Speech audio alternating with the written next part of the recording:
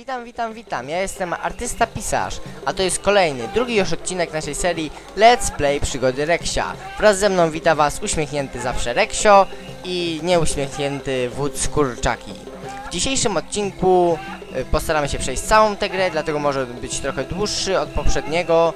W dzisiejszym odcinku pójdziemy do Królewny, pójdziemy tam, pójdziemy do wulkanu i w ogóle wszystko zwiedzimy całą już tę wyspę. I poznamy zakończenie tej fascynującej historii. Ten oto mięśniak tutaj y, broni nam przejścia do posągu, który jest bardzo ważnym elementem tej gry. Nie odsunę się! Nie odsunie się. Ale teraz dlaczego? Nie ma mowy! Idź, pokłoń się królewnie! Tak, jest bodyguardem królewny, która jest córką wodza kurczaki. W ogóle fascynujące jest to, że tutaj jest padło słowo królewna, dlatego że nie mamy y, odpowiedniego przetłumaczenia na córkę wodza. Y, najbliższym tym słowem może być y, słowo właśnie wodza, które zostało zastosowane w książkach Terego Pratchetta, między innymi w na przykład Kapeluszu Pełnym Nieba, ale wodza to raczej żona wodza, wodza to żona wodza, tak, niż jego córka. Wodzówna może, o, coś, coś w tym stylu, to powinna być wodzówna. Potrzebujesz glejtu do świątyni? Hmm, dam ci go.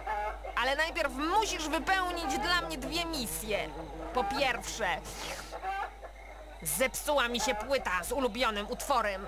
Gdyby udało ci się wymyślić inny sposób, żebym mogła go posłuchać. A drugie zadanie to perły. Chcę, żebyś zdobył dla mnie wszystkie perły z naszej zatoki. Zrobisz to? A dam ci glejt. No, czyli mamy do czynienia z klasycznym wprowadzeniem elementów RPGowych do gry przygodowej. Tutaj mamy klasyczny, boże. Yy, przepraszam was, że powtarzam cały czas słowo klasyczny. Postaram się już tego nie robić, naprawdę. To mnie dobija, mnie też to smuci, że tak cały czas robię. Tutaj mamy radio i w ogóle śmieszne jest to, że ona sobie odtwarza na tym patefonie tą melodię, bo to jest patefon, tak w ogóle się to nazywa, a nie może sobie puścić tej melodii z radia. No posłuchajmy, co jej się zepsuło.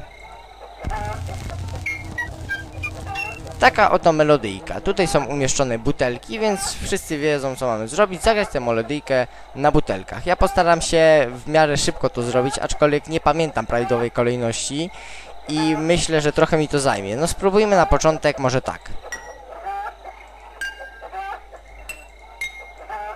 Źle, kompletnie źle. Nie, w ogóle to jest nie, nie ta melodia. Muszę się zas zastanowić jak to idzie. Początek byłby mniej więcej taki. Nie, taki. No dobrze, potem druga część. To jest... To brzmi trochę jak końcówka, a może... To brzmi jak końcówki. A... Nie, coś mi tu nie pasuje. A jakby tak zastąpić... Nie, to jest na pewno końcówka. Posłuchajmy jeszcze raz. Pam, pam, pam, pam, pam. Pam, pam, pam, pam, pam.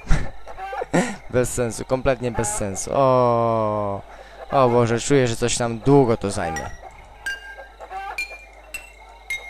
No dobrze, co by wam tu ciekawego powiedzieć? Yy, wystrój tej chatki jest też bardzo ważnym elementem do zapamiętania. W ogóle musimy się nauczyć, że w tej grze trzeba zapamiętać absolutnie wszystko, co się w niej pojawia. A gdyby tak zastąpić tą butelkę, na przykład tą, nie, coś, mi, coś mi tu nie gra. W ogóle jest samo napędzająca się korpa. Wynalazek po prostu przyszłości. Pam, pam, pam, pam, pam.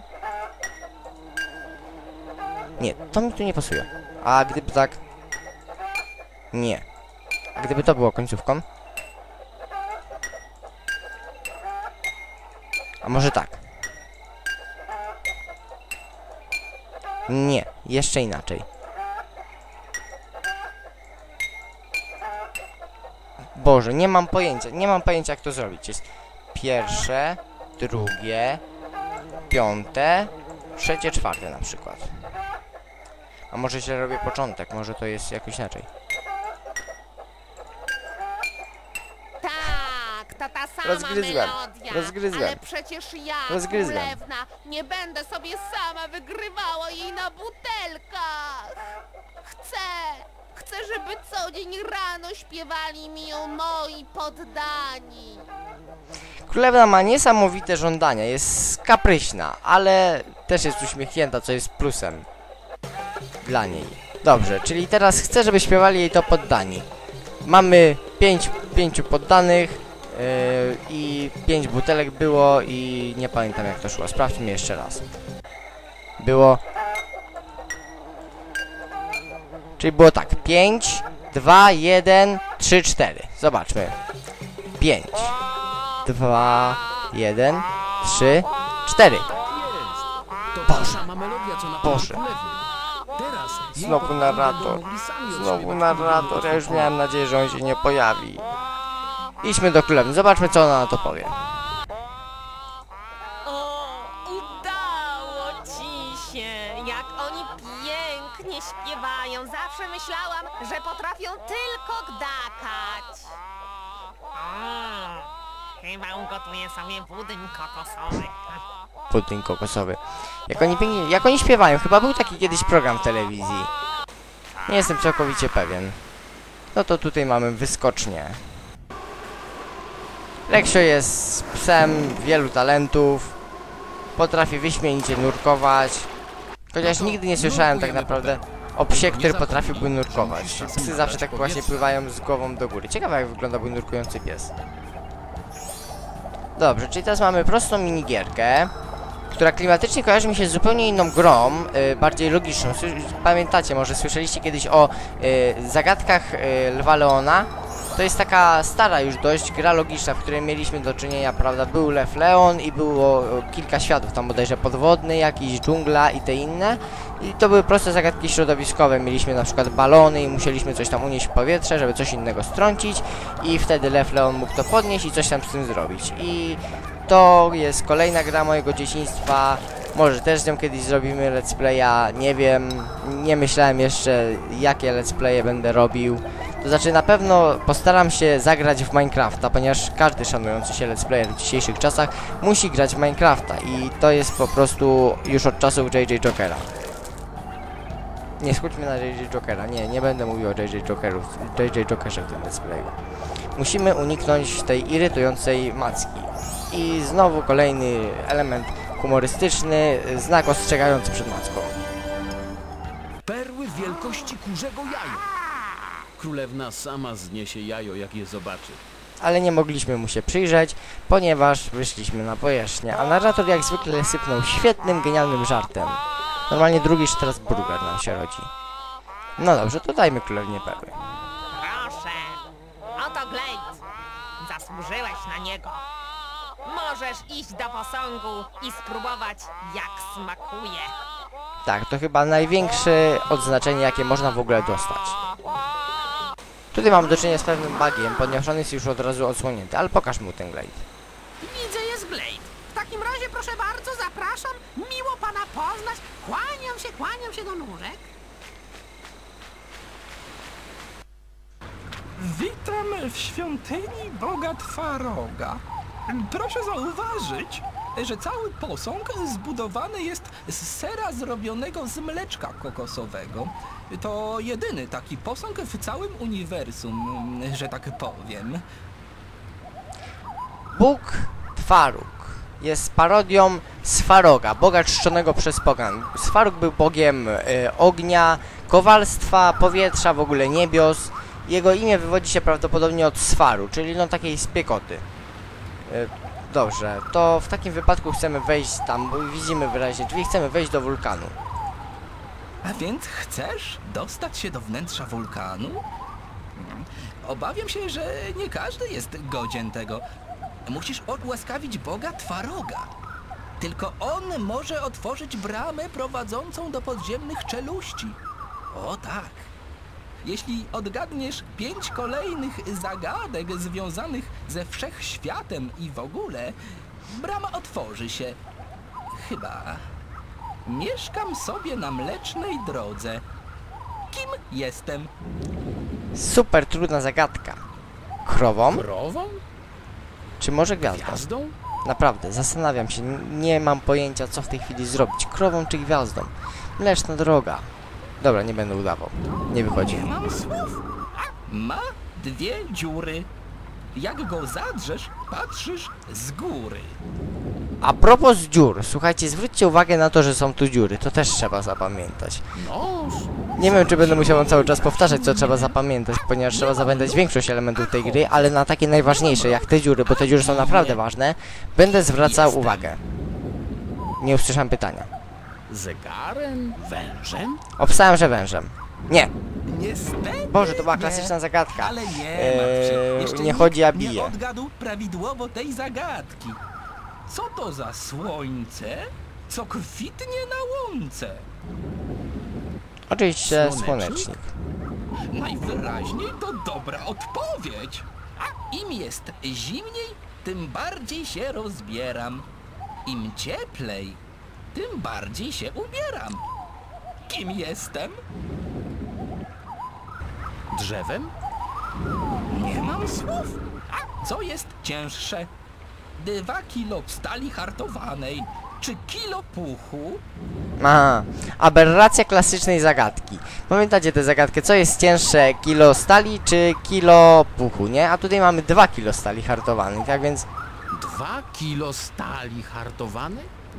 Skąd wiedziałeś? Męczyłem się nad tą zagadką od biedaczek, lat. nie umie liczyć. Choć ważę tonę, jednak nie tonę. Oczywiście hipopotam.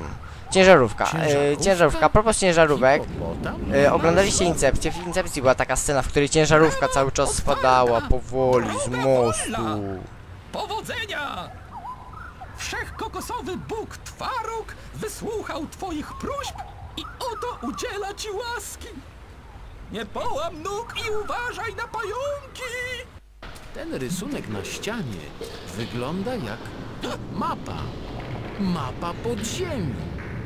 Warto to chyba sobie zapamiętać. Mój kochany narrator, jak ja go uwielbiam w tej części. Mapa podziemi. Mamy dostęp do pamięci Reksia. Ja tam pokazuję palcem, gdzie jesteśmy. Dobrze, od razu zabiorę pochodnie. E, Poczułem się trochę jak w Minecrafcie. Ale nic, to... Teraz stoi przed nami wyzwanie. To jest prosty labirynt. E, Prosty z tego powodu, że e, drzwi są połączone klasyczną sekwencją numeryczną. I teraz najśmieszniejsze jest to, że jak się cofnę, to wcale nie, nie trafię z powrotem do tego miejsca, tylko pójdę gdzie indziej. To jest taki często powtarzający się motyw w dalszych przygodach Rexia. Trzeba zapamiętać również te rysunki. Znaczy ja je znam na pamięć, ale one są potrzebne w dalszym przejściu tej gry, tam co nas czeka dalej przy Morzu Lawy. Teraz chyba trzeba było wrócić. Tak mi się jakoś wydaje, że teraz trzeba było wrócić. Błąkamy się po tunelach. A teraz z kolei przypomniało mi się Spelunki. Kojarzycie Spelunki? Taką grę indie, która zrobiła ostatnio e, furorę w, inter w internecie, w ogóle na świecie. I wróciliśmy do punktu wyjścia. Jak już mówiłem w odcinku pierwszym, będziemy w, tej, w tych grach często wracać do punktu wyjścia, naprawdę bardzo często. Teraz postaramy się pójść w tę stronę. I brawo, jestem geniuszem. Teraz to już jest naprawdę punkt wyjścia. Ale pamiętam, że na początek trzeba się cofnąć. A spróbujmy się teraz cały czas cofać. Może uda nam się wyjść z tej strony. Pójdziemy tutaj. Pójdziemy tutaj. Jak się jest dość powolny w takich sekwencjach. Tutaj to jeszcze nie jest takie irytujące. W części drugiej jest taki moment, w którym Reksio cały czas idzie do jednego punktu, między, prze, przechodzi między planszami. I to jest wtedy naprawdę bardzo irytujące. Ale to jeszcze, to jest jeszcze wszystko przed nami. To dopiero zobaczymy. Może to wyjście prowadzi do tego wyjścia, co? Jak sądzicie? To jest najgorszy element let's play. Ja nigdy tego nie lubię, że nie mam świadomości tego, że do kogoś mówię. To jest straszne. Nie mogę z wami rozmawiać. Nie, nie odpowiadacie na moje pytania. A Reksio błąka się w kółko, wciąż z uśmiechem na twarzy.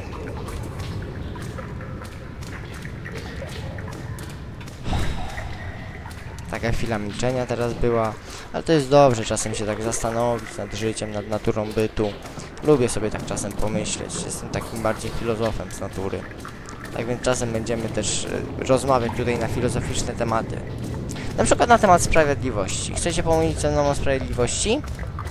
E, czytałem całkiem niedawno, tak z rok temu, e, książkę Platona tytułem Państwo o sprawiedliwości. I on tam, nie pamiętam do, dokładnie do jakiego wniosku doszedł, ponieważ on y, tak kluczył nad tematem, ale nie dopracował ostatecznego wniosku. Natomiast y, przy okazji doszedł do kilku również y, ciekawych wniosków, tak, będę się powtarzał. Y, na przykład na temat tego, że państwami powinni rządzić filozofowie. I e, jest to e, pomysł ciekawy, tylko że Platon jakby tak nie zauważył tego, że filozofowie tak jakby cały czas walczą ze sobą i gdyby państwem rządziło kilku filozofów, to oni by się prędzej pozabijali niż coś urodzili. E, tak pisał też Andrzej Sapkowski w ten, e, w którejś części Wiedźmina, że e, był jakiś zjazd filozofów i część było, to się zdarzyło w nocy i nad ranem część chciała się pozabijać, a reszta była tak pijana, że nie mogła się podnieść. Ciekawe również przedstawienie filozofii. W ogóle filozofia była dość... O, znalazłem wyjście! Znalazłem wyjście! Jestem hardcorem. A teraz będziemy przeskakiwać przez coś, co narrator nazwie później Morzem Lawy. Tutaj jest sekwencja, którą trzeba zapamiętać. Dobrze.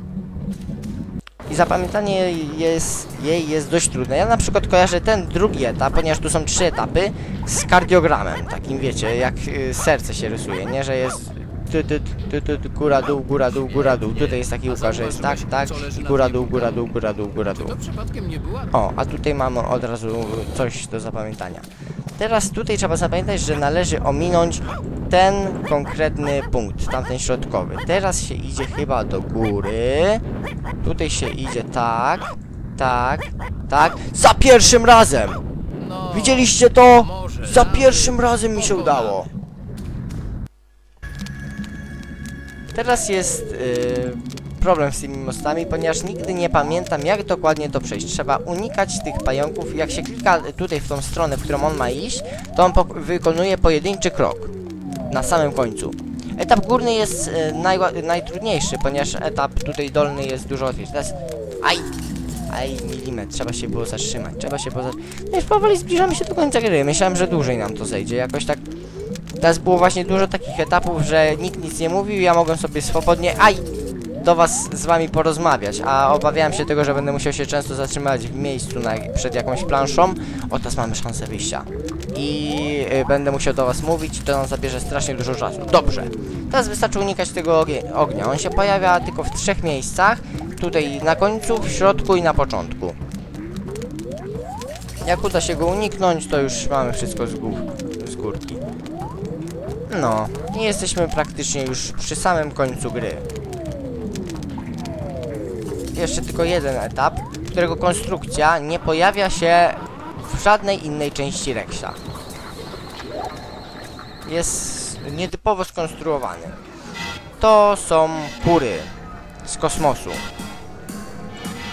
I jak łatwo się domyślić, one przyleciały tutaj, ponieważ... Yy, znaczy nie, one nie przyleciały, tylko chciałem powiedzieć, że y, so, sto, stoją tutaj, ponieważ utknęły, zepsuł im się statek i próbują go naprawić. Naszym celem jest dostanie się... Ojej, oj. Tak, jak trafimy na kurę, to teleportuj, teleportujemy się do początku. A teraz może pójdziemy w tę stronę dla odmiany. I teraz tak. Ym... O, widzicie? Teraz jest prostsza droga. Ym, chodzi mi o to, że naszym celem będzie dostanie się tutaj do lasera.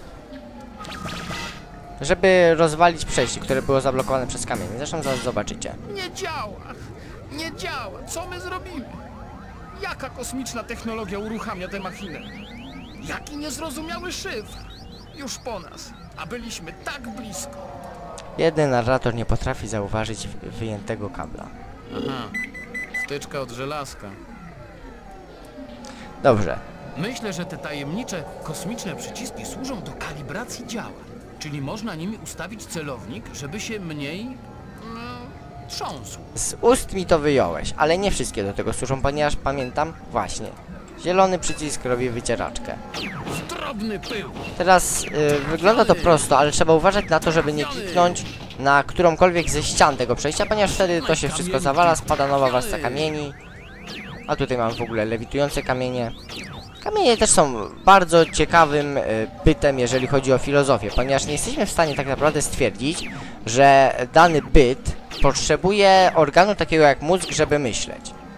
I można wyjść z założenia, że nie tylko ludzie myślą, nie tylko zwierzęta, znaczy no zwierzęta mają pewną formę myślenia, ale na przykład można dojść do wniosku, że kamień, pomimo tego, że nie ma żadnych organów cielesnych, może również myśleć. Tak samo jak drzewo. Właśnie y, czytałem ostatnio taki artykuł o drzewach i najstarsze drzewo świata ma 9,5 tysiąca lat. Pomyślcie, jakby to było, jakbyście wy mieli 9,5 tysiąca lat. Przecież to w ogóle jest to jest naprawdę, to jest tyle co od powstania Egiptu, nawet wcześniej, to jest 10 tysięcy lat temu Żydzi zaczęli notować czas. To jest pierwszy, y, pierwsza data zapisana w jakimkolwiek kalendarzu. Znaczy, no tak, w kalendarzu, bo wcześniej są jeszcze te cykle czasowe, powstanie człowieka i tak dalej, i tak dalej. Zaskakująco dobrze mi dziś idzie. Jestem sam zdziwiony tym, jak dobrze mi dziś idzie. Wszystko przechodzę za pierwszym razem. Zazwyczaj tak nie jest. Może klątwa Let's Play nas zostawiła? Może sobie poszła? Może chce, żebym szybko nagrał ten odcinek i dał jej spokój? Nie wiem, w każdym razie mamy y, iść w stronę światła. A tutaj mamy element, który powstał po to, żeby dowartościować gracza.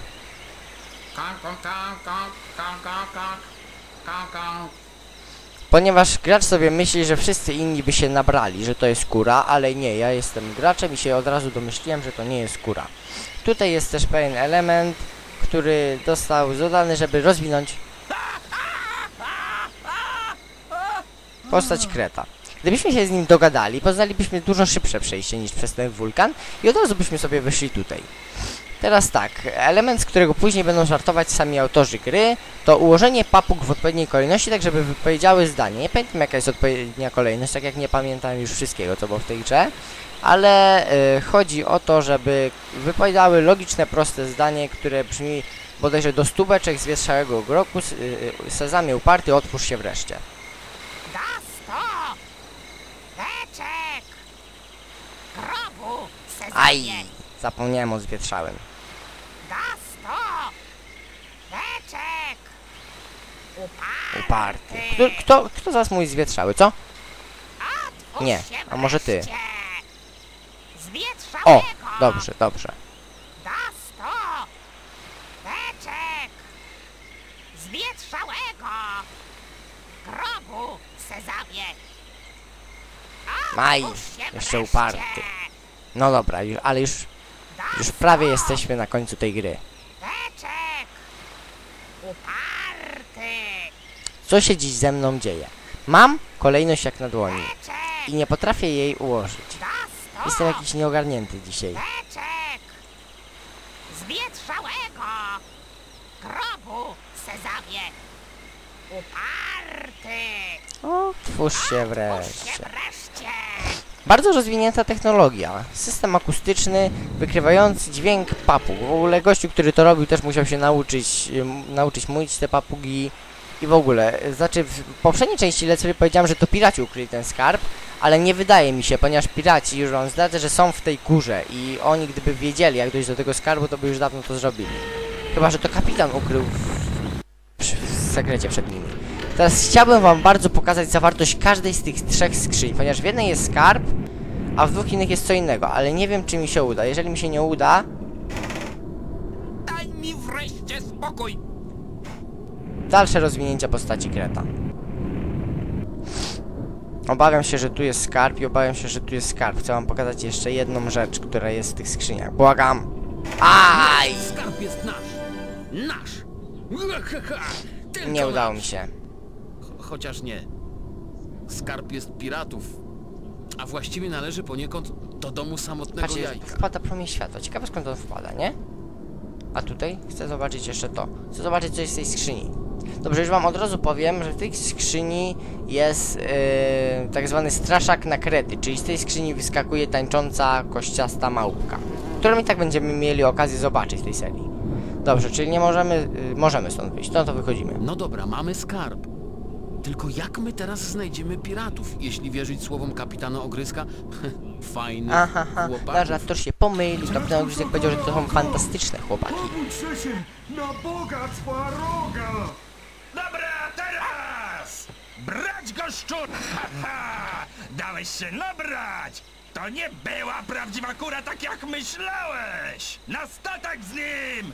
Wkrótce wszystko wyśpiewa! Stop! Ktoś wziął skarb? Ja nie. No to wracać patałachy! I to jest ostatnia plansza tej gry. Jeszcze chciałbym wrócić do tego, co powiedział jeden z piratów. Na Boga Twaroga.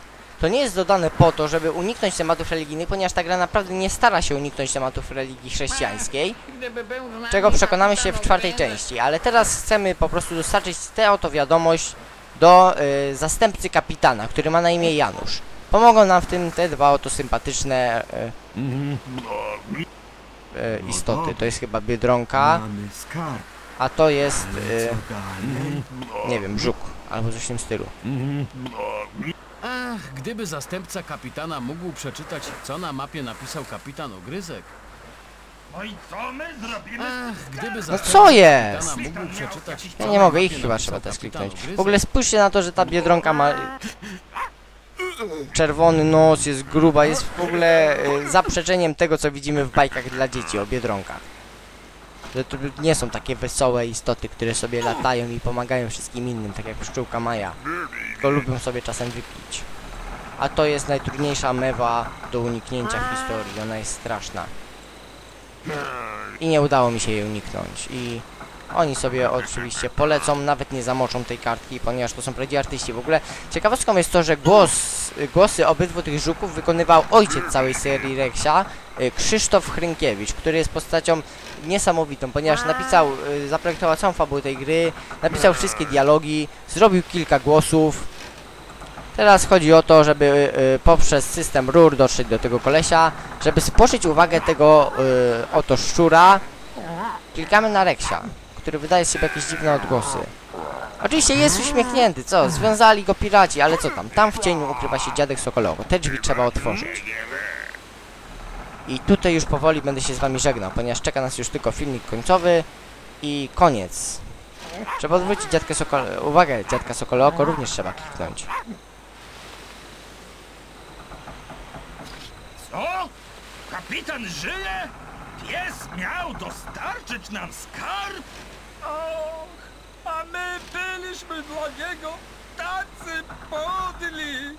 Trzeba, I to jest koniec trzeba go tego, natychmiast co możemy uwolnić zrobić w tej grze. I przeprosić. Teraz już czeka nas tylko filmik końcowy. Reksiu, e, chciałbym pan e, oficjalnie Reksiu siedzi, przeprosić patrzcie, jaka ładna animacja. w imieniu wszystkich nas tu W zgromadzonych ogóle wiatr wieje. za to nieporozumienie ze skarbem. Jednocześnie pragnę poinformować, że wyruszamy natychmiast ratować naszego, nie bójmy się tego słowa, kochanego kapitana Ogryska. A następnie płyniemy prosto do domu samotnego jajka. Z pieniędzy uzyskanych ze sprzedaży naszego skarbu numizmatykom i hobbystom postanowiliśmy ufundować inkubator. Tak, jak to chciał uczynić kapitan. Ahoj! Reksio Do zobaczenia! Co? Kto wie, jakie wiatry i gdzie konkretnie poprowadzą nasz okręt? Do zobaczenia w przyszłości, dziadku Sokoloko.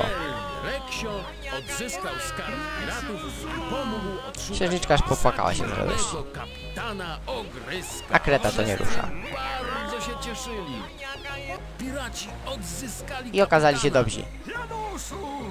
Kapitanie! Żyjesz jeszcze! I wy, dzielne majtki! Och, kapitanie. Kapitan mógł wreszcie zrealizować swoje marzenie i przekazać skarb ty na strachu domu wróble i blaszany dywalu. Kury cieszyły się Odniesienie do tego kapitan, ponieważ czarnoksiężnika w krainie Oz. w świat i wyglądało na to, że Kapitan jednak trochę zwariował na tym flaku. O, to jest ikona serii. Reksio na- wspaniały na żaglówce. żagiel i mógł wrócić do domu. A Gret aż szalał z radości, bo odkąd skarb został Ale impra, ja nie mogę, tylko ja i moja kaczka. otwierał mu dachu w najbardziej nieoczekiwanych momentach. Wszystko skończyłoby się zwiastun drugiej części. dobrze. Gdyby nie... Co przytrafiło się kurom? Kim jest diaboliczny żabba? Dlaczego kosmiczne jajo śmierdzi? Tego dowiecie się z następnej części przygód Reksia. Żegnam się z wami. Ja jestem artysta pisarz. To są napisy końcowe. Zostawię was z nimi do końca i widzimy się już niedługo w drugiej części gry, w trzecim odcinku Let's Play Przygody Reksia. Pokój nad Izraelem.